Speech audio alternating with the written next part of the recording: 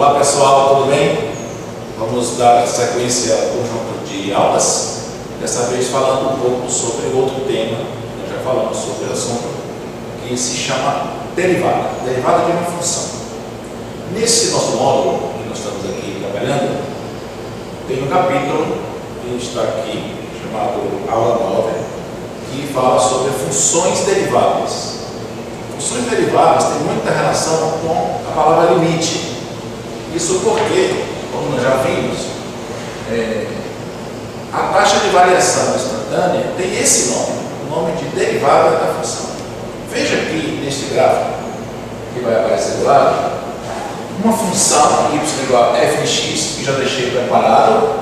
Esse problema aqui é um problema histórico importantíssimo, de onde nasceu o conceito de derivada, é um problema chamado da reta tangente os antigos gostariam muito de ter, por esse ponto P0, a reta tangente a essa curva, essa curva que está aqui, que nós chamamos y igual a f de x.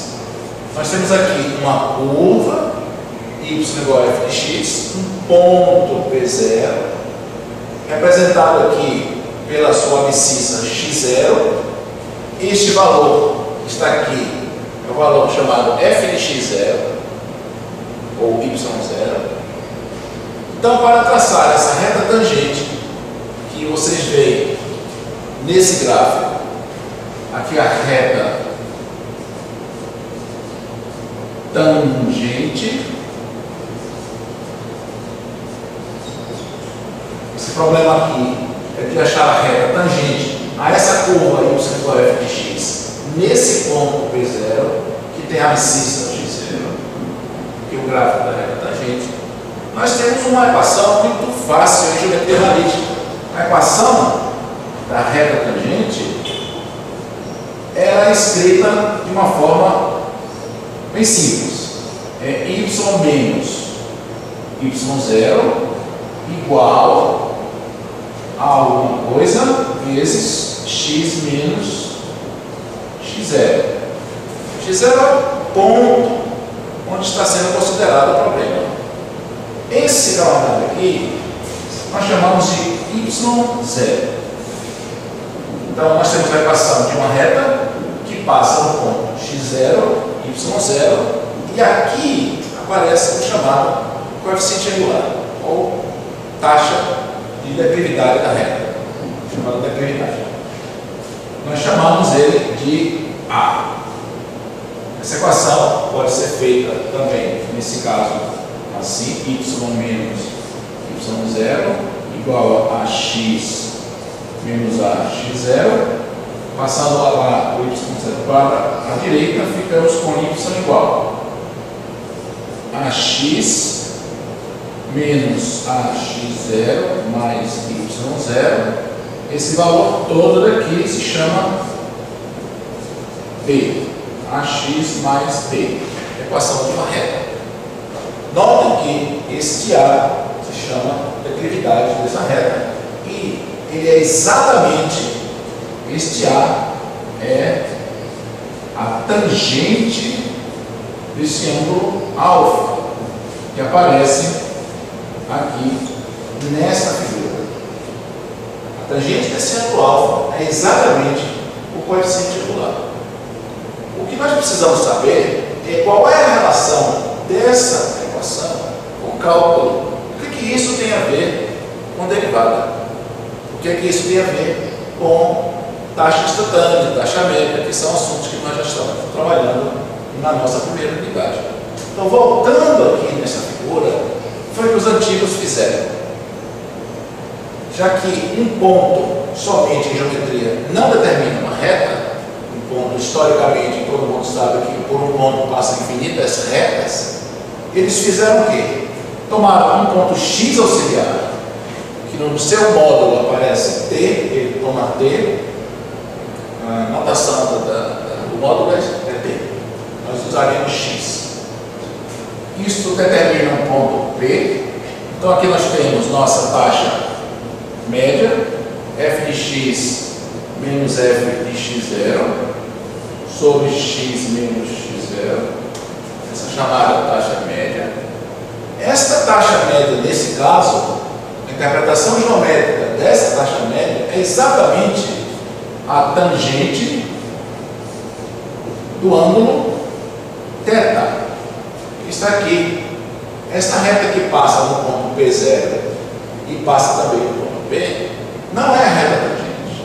Essa reta é a reta secante ao gráfico, porque passa pelos dois pontos P0 e P. Então, essa reta secante, que veio dar essa taxa média aqui, ela vai ser uma reta considerada variável, ela vai sofrer uma aproximação, digamos aqui, que eu peço, é, um pequeno elástico desse tipo, ponto P está lá, naquele caso, quando eu faço o deslocamento de P através da curva, as retas secantes ficam cada vez menos secantes. Observe mais uma vez, aqui eu tinha a reta secante. Quando a gente move o ponto P ao longo da curva, as retas ficam cada vez menos secantes e no limite ela passa a ser a reta tangente. Digamos assim, que a reta tangente é o limite das retas secantes.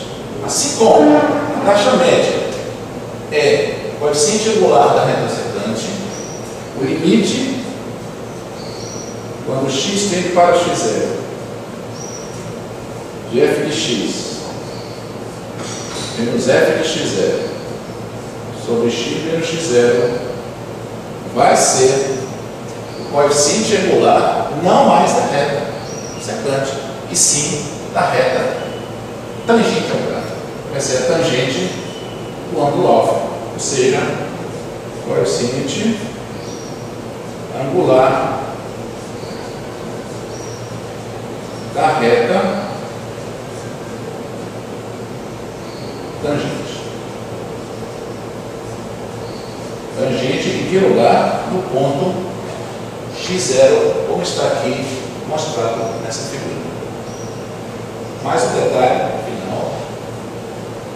Essa taxa instantânea, que é a tangente de alfa, é chamada em matemática de derivada da função no ponto.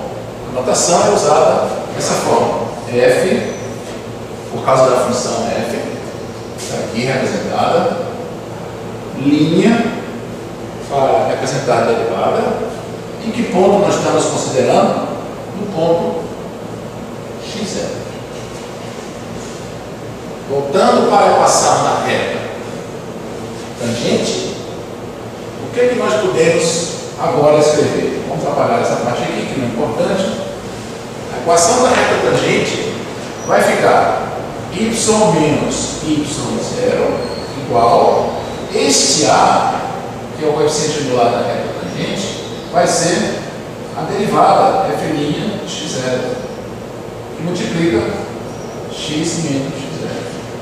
Com isso, nós temos a equação da reta tangente. Só falta agora apresentarmos alguns exemplos práticos. Um exemplo da função, por exemplo, x quadrado, função x ao cubo e assim por diante. Muito obrigado, espero que vocês tenham gostado.